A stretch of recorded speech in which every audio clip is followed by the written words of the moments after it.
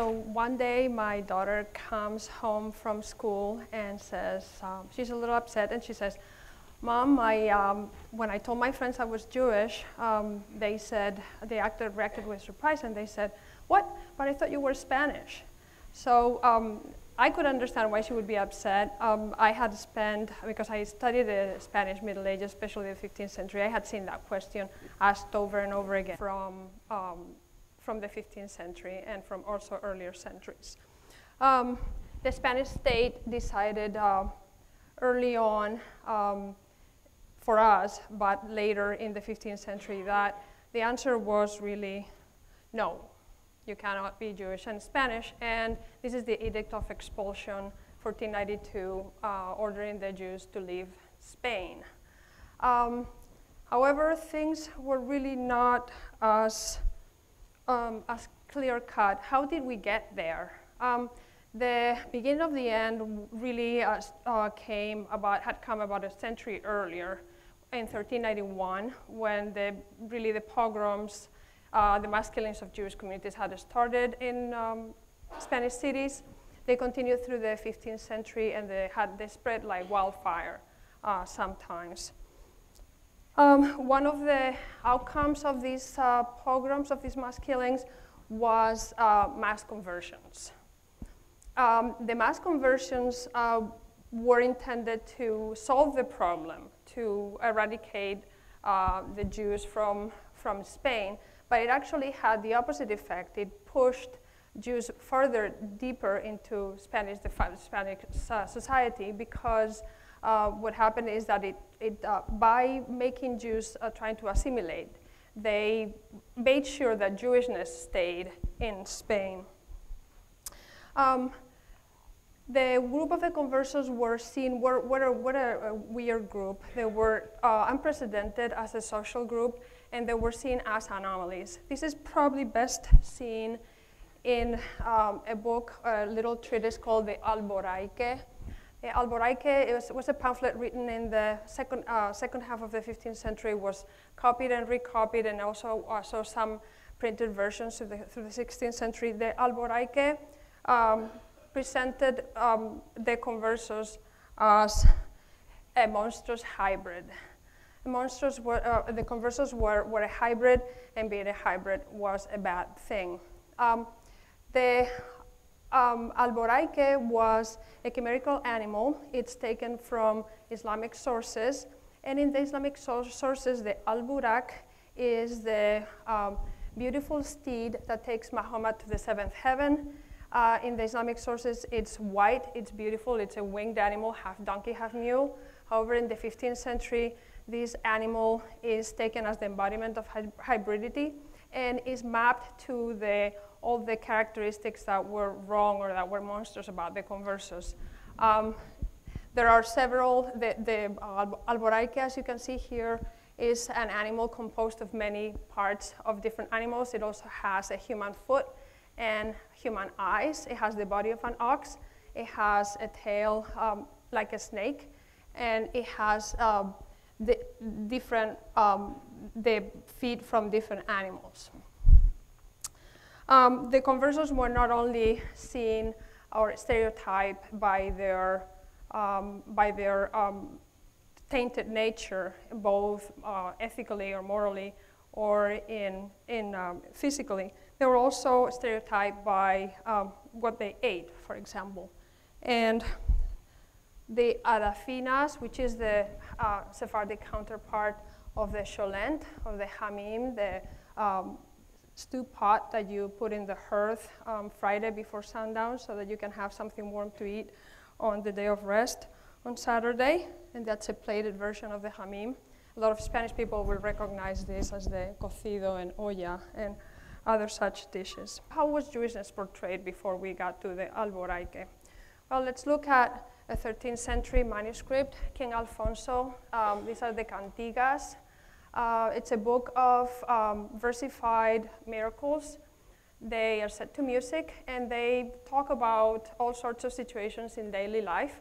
Uh, of course, Jews appear here and they are often um, represented with uh, st certain stereotypes, physical stereotypes, so that you could identify them in the, in the, in the manuscript illuminations or illustrations. They wear pointed hats. They have uh, large distorted noses, and they normally look uh, evil, especially around the eyes. These are some Jews uh, engaging in money lending. And this is a Jew uh, who's an apothecary. An apothecary is kind of a cross between a pharmacist and a, a spice seller. Um, some other Jews, for example, biblical Jews, this is uh, from an altarpiece in 14th century northern Spain in Tarragona. Biblical Jews fared a little bit better because Christianity had appropriated them. And even though they're stereotyped uh, somehow, for example, by the shape of their beards, uh, they're, I think, treated more kindly. How did Jews represent themselves, though? Um, this is a 14th century Haggadah from uh, uh, Spain in Catalonia. It's called the Golden Haggadah. And this represents, these scenes represents the preparation for Passover. Um, oftentimes, Jews did not choose to represent themselves as looking any different than their Christian neighbors because they really they did not look like different from Christian neighbors. They chose to represent themselves following the same set, of artistic conventions and the same kind of beauty ideals, the same attire as everybody else in society. Uh, you see, for example, the group Miriam with, um, with uh, her friends uh, and some musical instruments. There are also uh, books where uh, there were collaboration between uh, Jewish and Christian artists. Um, this is the 15th century Bible of Alba. It's also known as the Bible of uh, Moshe Arragel. Moshe Arragel was a rabbi, in 15th century. He wrote a um, translation into Spanish, uh, a translation of the Jewish Bible, and he also wrote some commentary and glosses also in, in Old Spanish. He wrote this for a Spanish novel. And it's interesting to look at how uh, Moshe Arragel, uh, Rabbi Arragel was represented here. This is uh, one of the pages in the manuscript. And um, this is one attempt because here's a Jew who is an actual is actually identified with an individual that uh, with a known individual, and he is the author of the book. This is an attempt to portray him um, as real as, as, in real life as possible. He's really, I don't think he's stereotyped. Um, he is the figure kneeling in front of the king, uh, presenting his work.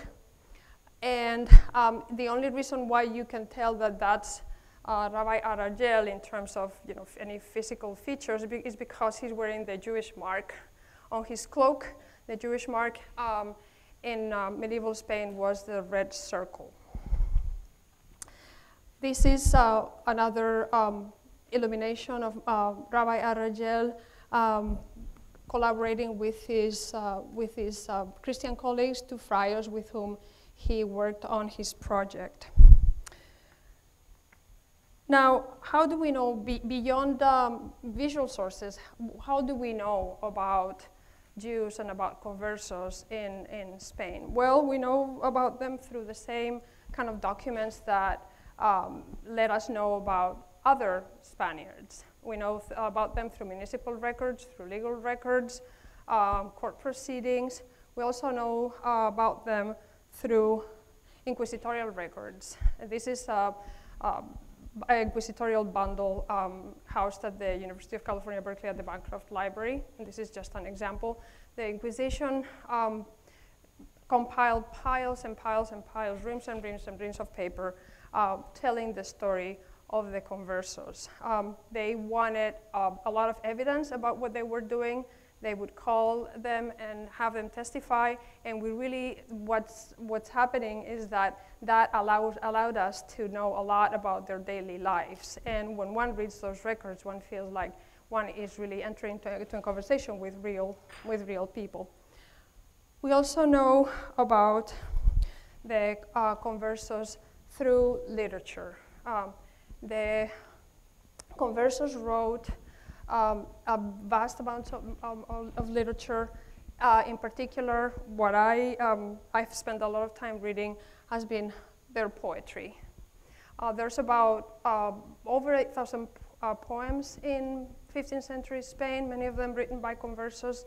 Um, this uh, is a manuscript page uh, of, um, uh, of a poem written by one of my favorite authors. His name is Anton de Montoro. Anton de Montoro is a Jew living in southern Spain in Cordoba. He, um, he, was a he was a tailor. He converted later in life. Uh, his wife was, we know that his wife was burnt at the stake.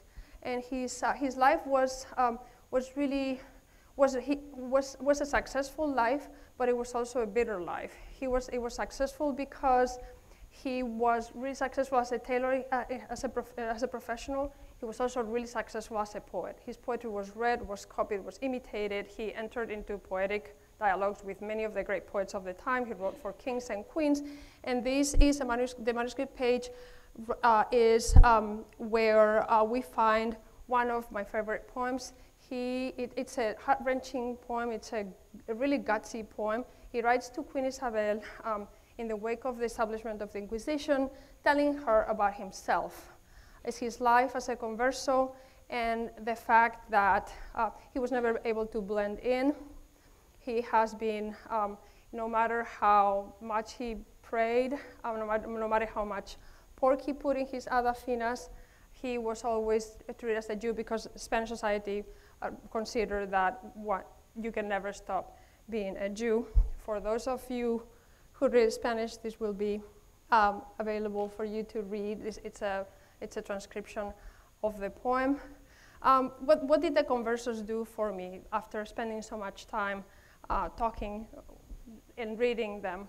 Well, they read, really, they did, I would say, I would summarize it in two main things. One, they introduced me to, to Judaism through them. I learned about Judaism. Um, the, those inquisitorial records probably had the opposite, um, the opposite uh, effect that they were, that they, for which they had been intended. Um, for me, uh, the, it, it was really eye-opening. Second, it really introduced me to a community uh, that as a Spanish national, I didn't really know I had. Uh, when I read uh, about the conversos and when I now meet um, members of the Sephardi community, I really feel uh, like I'm seeing myself in the mirror. I feel like the gap, there's a huge gap that has been, that has been uh, closed. There's no longer a void. And I feel that with them, we can answer positively to the question, can you be Jewish and Spanish? And I think the answer is a yes. Thank you.